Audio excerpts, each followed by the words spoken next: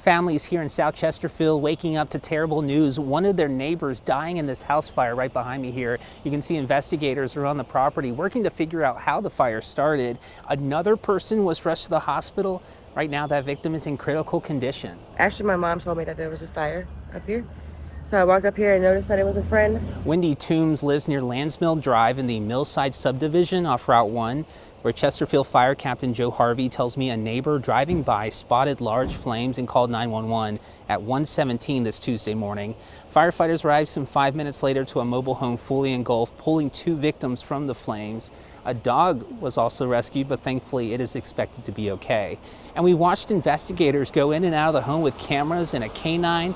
A neighbor tells us they banged on the windows and doors to get the victims out. One even braved the heat and flames to move these propane tanks from the property. I hope for the best for them, and I hope that everything's going to be okay for them. Right now, the Chesterfield Fire Marshal is investigating what started the flames, and Captain Harvey did note this that nothing stands out as suspicious regarding this deadly fire. In Chesterfield, I'm Brendan King, CBS 6 News.